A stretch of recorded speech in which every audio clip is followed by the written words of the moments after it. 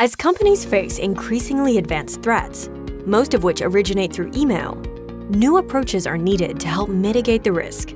Customers have asked CrowdStrike and Proofpoint to partner together to offer an enhanced security posture that covers everything from email to the device itself. Our powerful integrations provide best-of-breed threat intelligence sharing and analysis.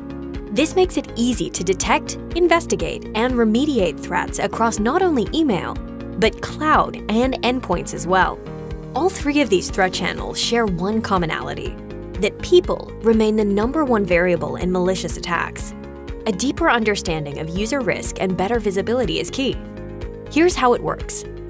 Proofpoint detects, analyzes, and blocks advanced threats across both email and cloud. These include ransomware and other threats delivered through malicious attachments, URLs, or file uploads. Automated, people-centric security remediation is then used to reduce risk from these threats.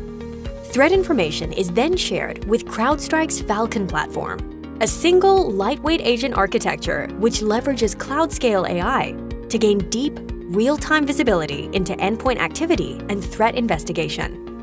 CrowdStrike can alert if malicious content executes on the endpoint and offer innovative remediation to stop breaches.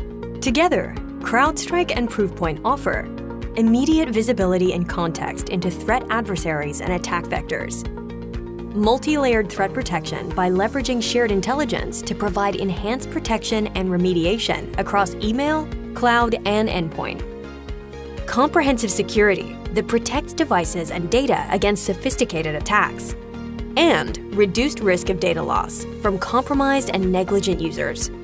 As part of the Crowd XDR Alliance, we work together to streamline security operations and accelerate the identification, prioritization, and remediation of threats and vulnerabilities.